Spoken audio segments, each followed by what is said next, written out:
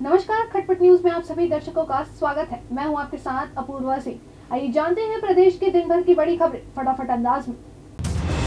मुख्यमंत्री भूपेश बघेल आज दो दिवसीय दौरे पर महाराष्ट्र रवाना हुए। इस दौरान रायपुर एयरपोर्ट पर मीडिया से बात करते हुए मुख्यमंत्री ने बजट की तैयारियों को लेकर बयान दिया। मुख्यमंत्री ने कहा कि 15 से 21 जनवरी तक बजट को लेकर मंत्रियों से चर्चा करेंगे। इसके अलावा हम हर वर्ग के लोगों के साथ चर्चा कर बजट बनाएँगे। कोरोना के कारण सभी की प्राथमिकताएँ बदली है। आम जनों के साथ सरकार की प्राथमिकताएँ बदली है। बीजेपी के राज्यसभा सांसद और छत्तीसगढ़ के वरिष्ठ आदिवासी नेता राम विचार नेताम ने एक ट्वीट के ज़रिए वीडियो शेयर कर कांग्रेस नेतृत्व से सवाल किया है।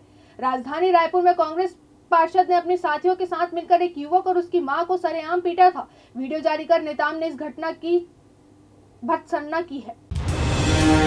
केंद्र सरकार की तरफ़ से छत्तीसगढ़ को तीन लाख तेईस हज़ार वैक्सीन भेजने को स्वीकृति दी गई है। वहीं आज कोरोना वैक्सीन की पहली खेप में राजधानी रायपुर पहुँच चुकी है। 27 कार्टून वैक्सीन के पहले लॉट में पहुँचे हैं। एयरपोर्ट से स्टेट वैक्सीन सेंटर के लिए रवाना हो चुकी है।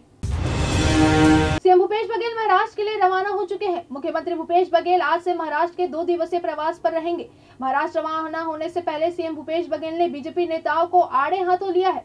दरअसल केंद्र सरकार ने गोबर से बना पेंट लॉन्च किया है। इस पर सीएम भूपेश का बयान सामने आया है। सीएम ने कहा कि केंद्र सरकार को जितना गोबर चाहिए हम देंगे। हमारा गोबर खरीदी का सिस्टम बना हुआ है। केंद्र सरकार हमारी योजनाओं का अनुसरण कर रही है।